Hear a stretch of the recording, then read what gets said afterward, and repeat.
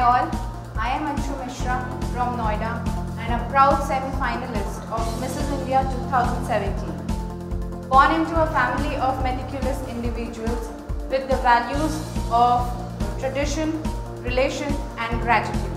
I have been happily married for 9 long years and a mother to a 3-year-old kid. Currently, I am working in a multinational company at a managerial position. Life should be big and not long and you should live your dream and not die with it. Precisely, that's the reason why I am here at Mrs. India 2017 and proudly sharing the platform with few of my amazingly talented and beautiful contestants. Life should be big and not long, and you should live your dream and not die with it. Precisely, that's the reason why I am here at Mrs. India 2017 and proudly sharing the platform with some amazingly beautiful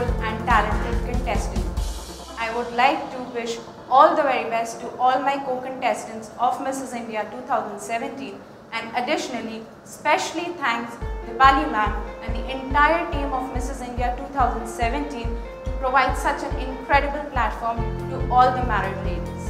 Thank you so much.